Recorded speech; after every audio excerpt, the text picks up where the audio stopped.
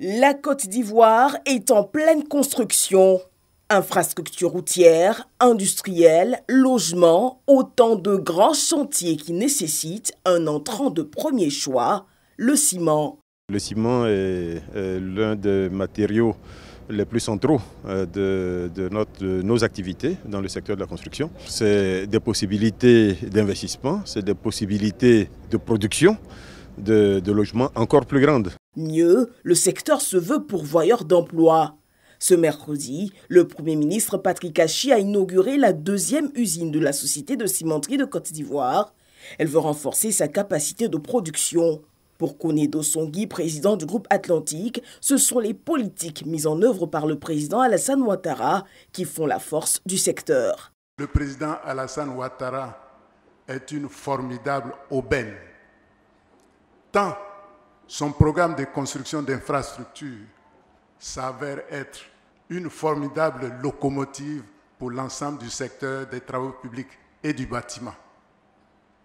Monsieur le Président, merci d'être ce président visionnaire dont les actes permettent à notre secteur de connaître l'élan qu'il vit depuis quelque temps. L'occasion pour le président du groupe d'inviter les investisseurs ivoiriens à aller plus loin. Le temps est venu pour les Ivoiriens, pour les investisseurs ivoiriens, d'ajouter une corde à leur arc.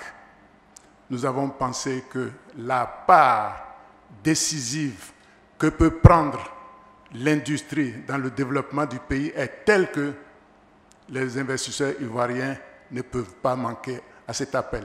Première cimenterie à capitaux 100% ivoiriens, la SSCI va créer plus de 3000 emplois et contribuer à une bonne exécution des grands travaux engagés dans le pays, conformément à la volonté du gouvernement pour le secteur privé.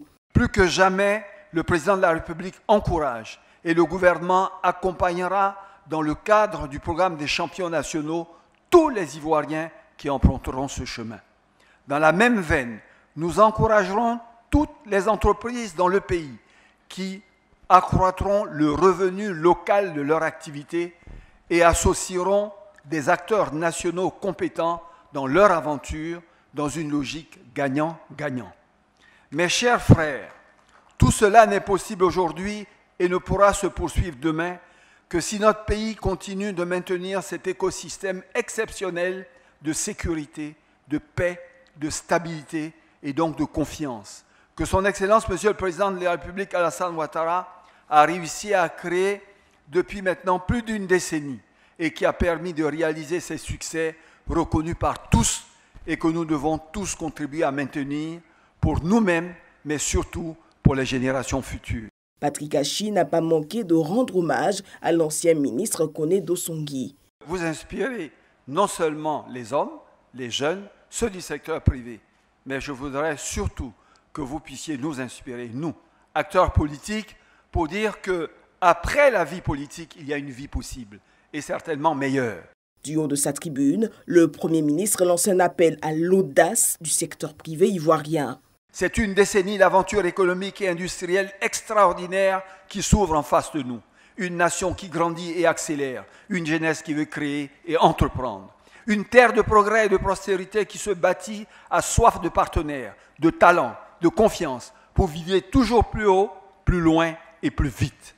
La Côte d'Ivoire compte à ce jour une douzaine de cimenteries pour une capacité de production de près de 16 millions de tonnes.